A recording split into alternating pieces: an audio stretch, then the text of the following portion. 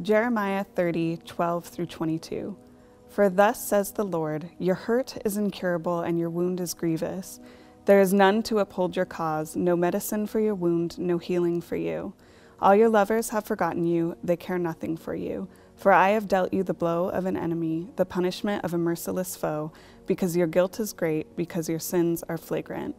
Who do you cry out over, to, over your hurt? Your pain is incurable because your guilt is great, because your sins are flagrant. I have done these things to you. Therefore, all who devour you shall be devoured, and all your foes, every one of them, shall go into captivity. Those who plunder you shall be plundered, and all who prey on you I will make a prey. For I restore I will restore health to you, and your wounds I will heal, declares the Lord. Because they have called you an outcast, it is Zion for whom no one cares. Thus says the Lord Behold, I will restore the fortunes of the tents of Jacob, and have compassion on his dwellings. The city shall be rebuilt on its mound, and the palace shall stand where it used to be. Out of them shall come songs of thanksgiving and the voices of those who celebrate. I will multiply them, and they shall not be few.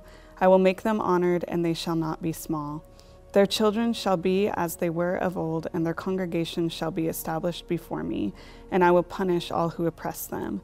Their prince shall be one of themselves, their ruler shall come out from their midst. I will make him draw near, and he shall approach me.